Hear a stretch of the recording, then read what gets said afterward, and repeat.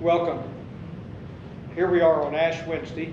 Normally, at this time, we would have the church with a number of people here. We would be prepared to impose ashes and to begin a time of Lent, but it's certainly a time of repentance.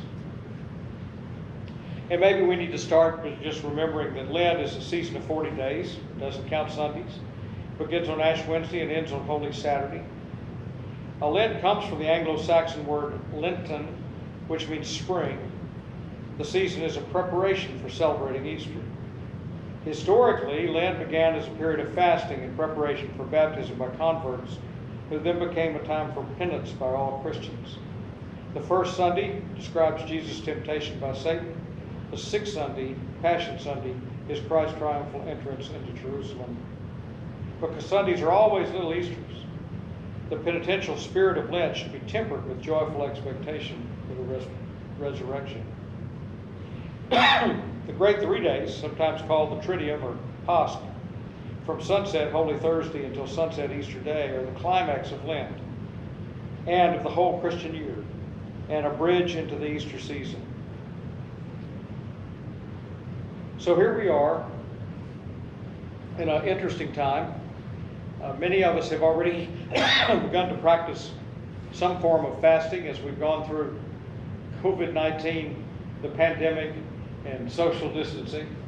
And uh, more recently than that, we've learned how to fast from water and electricity and warmth. And maybe for the first time for some of us, we can appreciate the situation in which the disciples really lived. When it was cold, they were really cold. Uh, when it was hot, they were really hot. When they were hungry, they were really, really hungry. And so as we begin our time together today, just understand that we wish we were together. Uh, we wish we could impose ashes. We have them right here. We have some ashes, palm ashes that have been burned.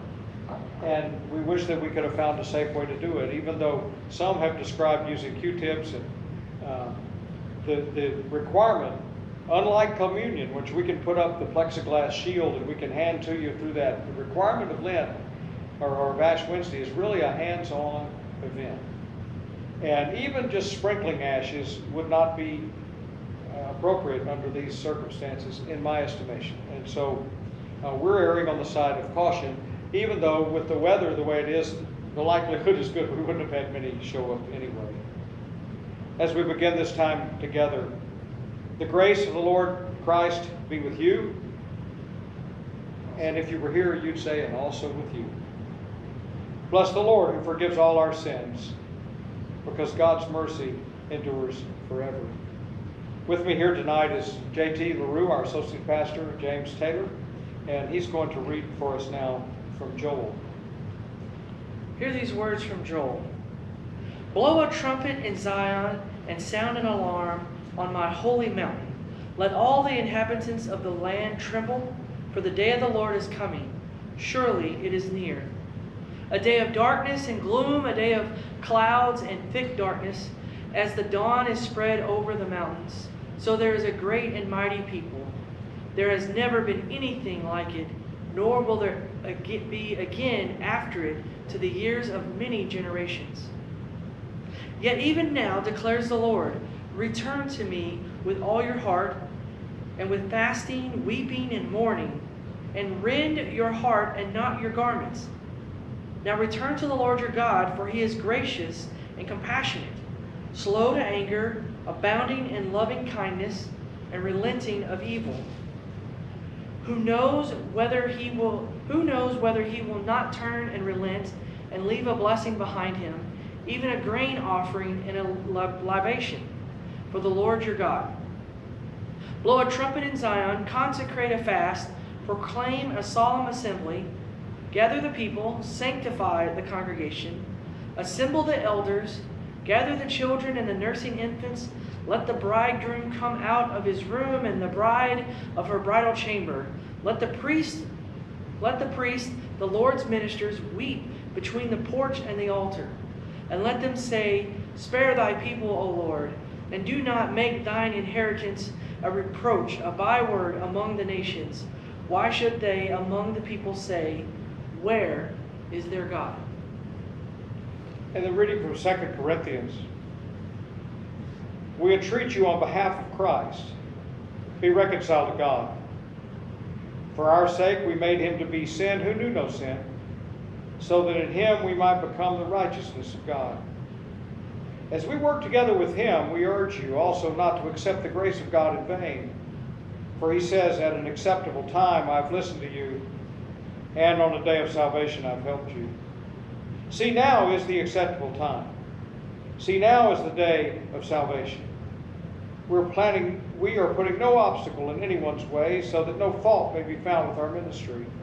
But as servants of God, we have commended ourselves in every way through great endurance in afflictions, hardships, calamities, beatings, imprisonments, riots, labors, sleepless nights, hunger, by purity, knowledge, patience, kindness, and holiness of spirit, genuine love, truthful speech, and the power of God, with the weapons of righteousness for the right hand and for the left, in honor and in dishonor, in ill repute and good repute. We are treated as impostors and yet are true, as unknown yet are well known, as dying, see, we are alive, as punished yet not killed, as sorrowful yet not always rejo- yet always rejoicing, as poor yet making many rich, as having nothing and yet possessing everything. Reading from the Gospel of Matthew, chapter 6, hear these words Beware of practicing your righteousness before men to be noticed by them. Otherwise, you have no reward with your Father who is in heaven. When therefore you give alms, do not sound a trumpet before you as the hypocrites do in the synagogues and in the streets, that they may be honored by men. Truly, I say to you, they have their reward in full. But when you give alms, do not let your left hand know what your right hand is doing, that your alms may be in secret, and your Father, who sees in secret, will repay you. And when you pray, are you are not to be as the hypocrites, for they love to stand and pray in the synagogues and on the street corners in order to be seen by men. Truly I say to you, they have their reward in full. But you, when you pray, go into your inner room, and when you have shut your door, pray to your Father, who is in secret, and your Father, who sees in secret, will repay you. And whenever you fast, do not put on a gloomy face, as the hypocrites do, for they neglect their appearance in order to be seen fasting by men. Truly I say to you, they have their reward in full. But you, when you fast, anoint your head and wash your face, so that you may not be seen fasting by men, but by your Father who is in secret, and your Father who sees in secret will repay you. So you hear the words from the Gospel of Matthew. And here we are at a time of really pretty significant suffering. I know here at the church, the power's been off and on. We had a pipe burst, and we're more fortunate than many. We, it was outside, and so we're in good shape. We'll just have to get it fixed before we can use the facilities. Many that I know of have had per pipes burst at home, and they're learning to deal with cold weather that we don't normally have to deal with in this area. Let me just tell you, 14 degrees is cold. Uh, things, weird, wonky things will happen that we aren't used to happening here in the mid 20s, which is about as cold as we usually see it. And I know in driving around, I'm aware of the suffering.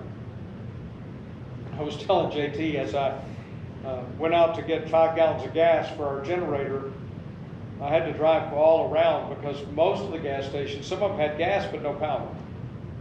A few had power but no gas.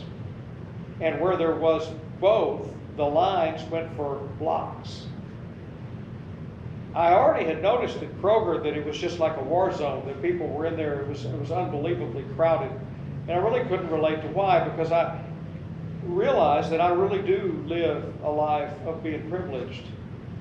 Uh, our life didn't change much really until last night. Our power was on the whole time, the heat was running, fireplace was going, the TV was working, the internet worked. Uh, we were good to go, and then about 10:50 last night, we found out what it's like when the power went off. But then it came back on this morning. as I went out and I saw long lines, a block or block and a half longs, uh, long lines of people waiting to get into Popeyes or to get into uh, McDonald's or if they're open, or to get into Whataburger, whichever ones were open, I began to realize the real need there is. The people weren't prepared.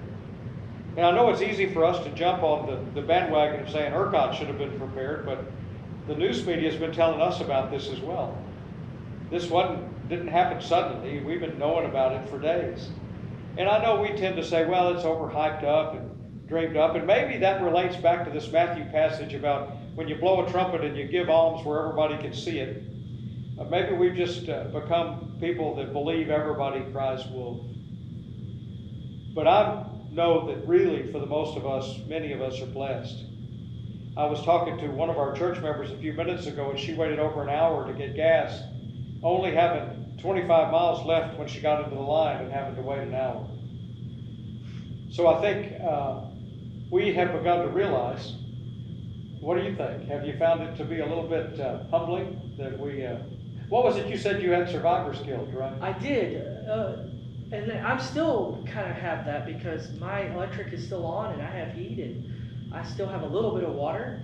Uh, but like you, when I went to Kroger, uh, it hit me a little harder, realizing I couldn't buy milk, and I just take for take that for advantage. I can't get something that I, I want and need. So. Yeah, for my first awareness was that after the Rita Katrina evacuation, and uh, I came home because the other pastor was out of town, and I knew we'd need to have church. And uh, when I got home, they canceled the event, except that everything was closed, and I couldn't even buy a coke anywhere because everything was closed. So the things that we find important, there's other people that would just like to have some rice or some beans, and here I am worried about soda water, or JT's worried about milk. you know, we, we don't uh, really get it. And then Ash Wednesday has always been kind of an interesting thing for me. Growing up as a Methodist, and I know JT had experiences in some other denominations before he was Methodist, uh, we didn't really do it uh, until I moved back to uh, to the Houston area, and then it, so it would have been 1987, 88, something like that. No, before that, maybe 83. And they were imposing ashes, and I thought, well, that's something Catholics do. We don't really do that. And of course, I grew up in a, in a Roman Catholic neighborhood. We were the only Protestants there, so I was well aware of the customs. Uh, and then as we began to take on this notion that it was about sackcloth and ashes and repentance and, and turning back to God, or, and to realize that all of us need to turn back to God. It's, it's like we haven't, we haven't really been there all the time. We haven't been as faithful as we want to be. We're, we're, uh, we're just as much as sinners as anybody. And, and I'm re- reflecting about my friend John Stouffer, who now is a pastor in Beaumont, uh, one time was uh, ministering to some homeless folk. Uh, they were around, gathered around probably a, a 55 gallon drum of fire in it or something under a bridge, playing the guitar and singing some songs. And, and John was sharing with them what it was like to be found. And one of the homeless guys looked at him and said, Preacher, what worries me about you is you don't think you're lost. And I think that's what this is about. This whole six weeks of, of Lent uh, is about realizing we're lost. We really are lost. And uh, maybe, you know, uh, it, this, this notion of no power and no water, maybe that takes us away from wondering about what the stock market's going to do and, and whether we have enough money for retirement or whether we make enough money. Maybe we're now in a position of just wishing we had enough of what we need. And I really think that's what we also need to do as we turn to God. Is I think we need to look back at God and say, you know, you've been there all the time. We're the ones that turned away, not you. You've never left us. So tonight, as we gather, realize that we wish you were here and we wish we could do the ashes. Uh, we just can't. Now, both of us are pretty safe. We both had both shots. And so uh, we're almost six feet apart, but, but we're about as six feet apart as they are in the newscasters. But uh, we also are pretty safe in that regard. Plus the fact neither one of us have been around anybody. But uh, I think uh, as we turn our lives now to a few moments of repentance and listening and patience, just understand that this is a solemn time. We've got the lights mostly out here in the sanctuary. Uh, a lot of the fancy stuff is kind of in the background. We have the scriptures, which is, of course, what we're centered around. We have the ashes, which are symbolic today. Uh, there, there's just a, a little bowl with palm branch ashes in it. And I think we just need to observe a time to move into Lent. Uh, the color for Lent is purple. Um, the, the opportunity for Lent is to repent and believe the gospel. Uh, uh, one of my seminary professors, his name is Mark Stamm, uh, adapted, he's one of the ones that wrote some of the book of worship, and he adapted uh, some of the things that we normally say. You know, often we say here, you know, from ashes you came, and from uh, from dust you came, and from dust to dust you must return. Uh, here's his reminder for us in uh, 2021, Ash Wednesday: "Is ice from water you came, and to water you will return." I'm not sure that that's really appropriate, but it's funny, so we'll, we'll put it in there anyway.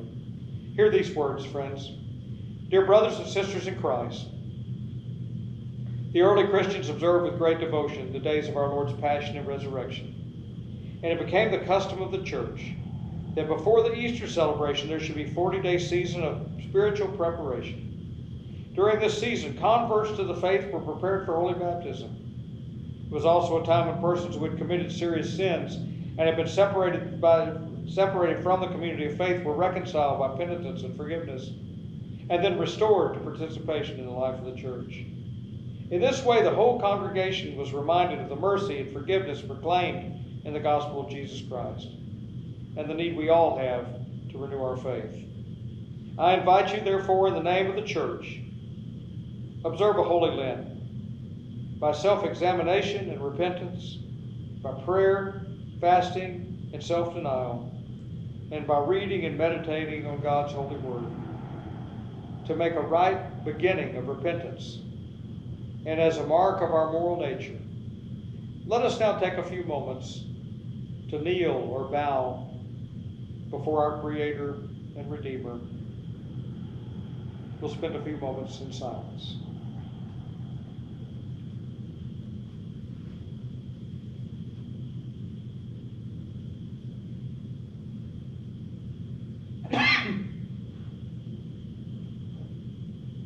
Amen.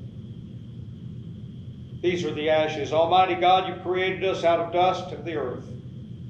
Grant that these ashes may be to us a sign of our mortality and penitence, so that we may remember that only by your gracious gift are we given everlasting life. Through Jesus Christ our Lord. Amen.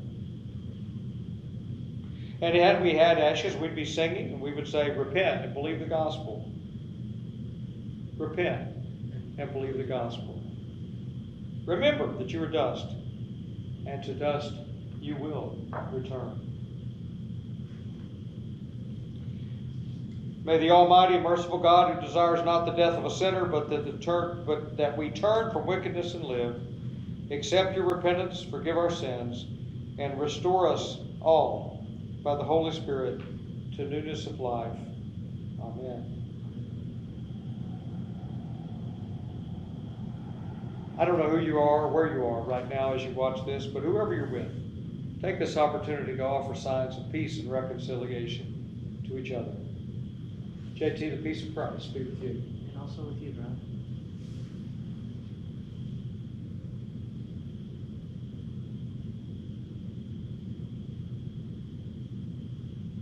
Well, the saddest thing is we don't get to sing There is a Balm in Gilead. So we'll have to sing it on Sunday. Maybe every Sunday, because it's such a wonderful song. There is a balm in Gilead. I love the part in there where it says, if you can't, if you can't pray like Peter you can't preach like Paul, then tell the love of Jesus who came to save us. Friends, go in peace to celebrate a wonderful and incredible and repentance and repentant, penitent time during this time of Lent. In Jesus' name, you are forgiven. Amen.